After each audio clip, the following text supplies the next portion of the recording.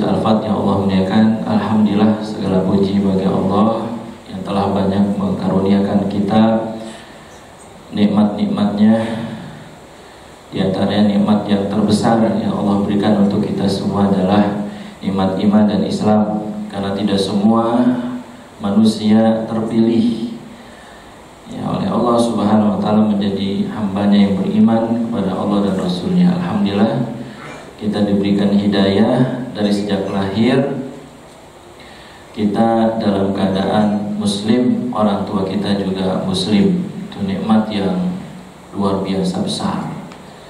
Dan juga kenikmatan yang lain yakni nikmat sehat walafiat.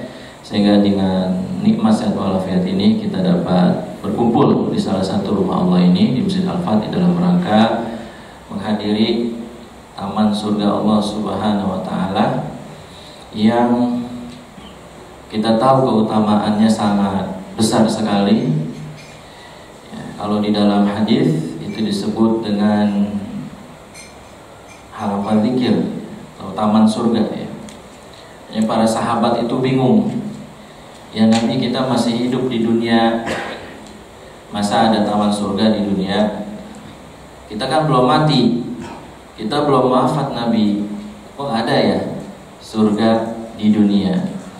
Maka Nabi SAW menjelaskan kepada para sahabat ada taman surga di dunia yaitu halqa zikir halqa zikir para ulama menafsirkan di antara Imam Qurtubi halqa zikir itu di dalam halqa zikir tersebut dibahas halal dan haram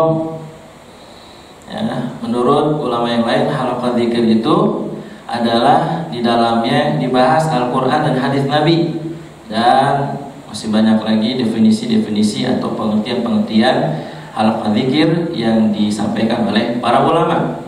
Nah termasuk bapak-bapak, saudara-saudara yang hadir pada pagi hari ini termasuk menghadiri taman surga termasuk menghadiri, menghadiri halakat zikir yang Nabi Muhammad SAW menganjurkan agar kita mampir di dalamnya.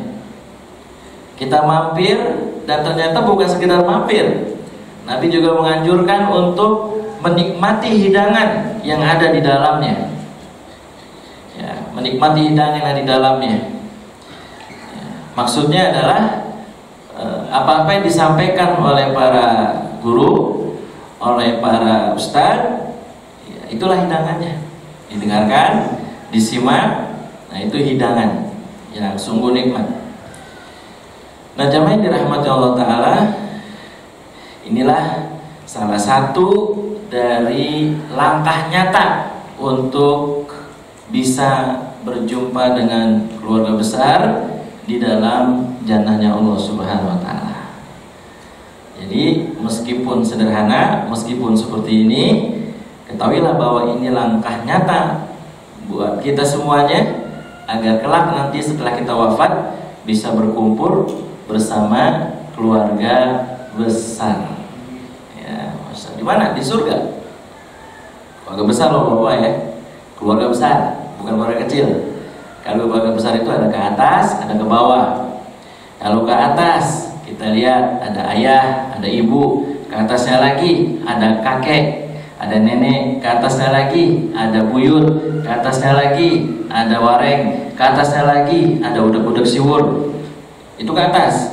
Terus kita lihat ke bawah, ada anak, ke bawahnya lagi ada cucu, ke bawahnya lagi ada anaknya cicit, ke bawahnya lagi ada cucunya cicit, ke bawahnya lagi ada cicitnya cicit. Itu disebut dengan keluarga besar. Langkah nyata yang kita lakukan mengarah ke sana, ya, bisa berkumpul dengan keluarga besar di jannahnya Allah, langkah nyata salah satunya adalah menghadiri halaqah zikir.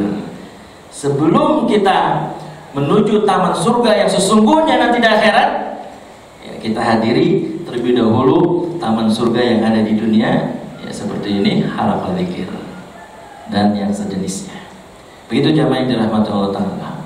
Jadi kalau masuk surga bareng-bareng keluarga besar itu gambarannya tuh yang belum belum pernah ketemu buyut belum pernah ketemu cincin misalnya nanti Allah berjanji akan mempertemukan, akan menggabungkan kita semuanya dengan keluarga besar betapa nikmat jemaah.